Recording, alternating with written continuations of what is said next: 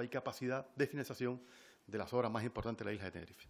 Es inexplicable que, en estos nueve meses de gobierno no hayan puesto en marcha la licitación o la variante de la, de la, de la laguna o del otro sector de Sojón de la Rampa, que tampoco conocemos, porque no están en marcha, insisto, ninguno de esos dos proyectos.